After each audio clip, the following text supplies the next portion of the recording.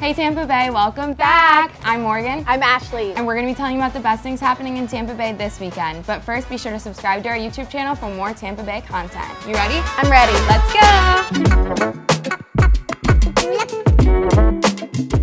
Come out to the Ritz Ybor for their Saved by the Ball 90s party where you can sing along to your favorite 90s classics, take part in a best dressed costume contest, and sip on themed cocktails all night long. Get ready for Bolay's grand opening this Saturday in St. Pete.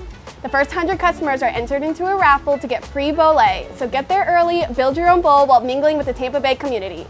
Come out to the Market Marie to shop and support local where you can find handmade goodies, clothes, treats, and everything else in between. Enjoy a weekend of music and tasty food at the Sponge Seafood Festival in Tarpon Springs.